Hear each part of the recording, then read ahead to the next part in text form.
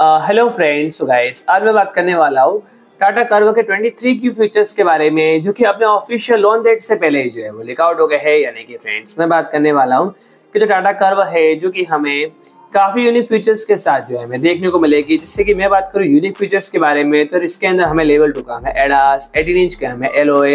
O S forty five watt का हमें type C port and all disc brake जैसे काफ़ी सारे फीचर्स जो हमें देखने को मिलेंगे। जिसके अंदर मैं बात करने वाला हूँ enhance safety features styling dimension technical specification and काफ़ी सारी और भी इंफॉर्मेशन के बारे में।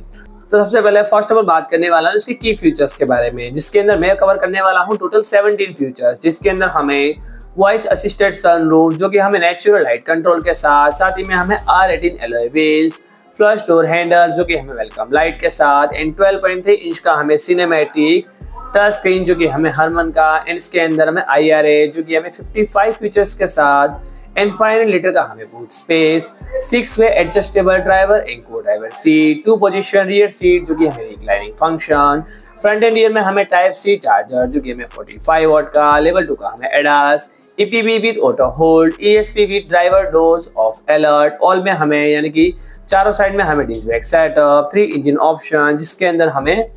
1.5 litre C R A I L यानी कि diesel engine option 1.2 litre petrol engine option जो कि हमें नेक्स्ट में भी देखने को मिलता है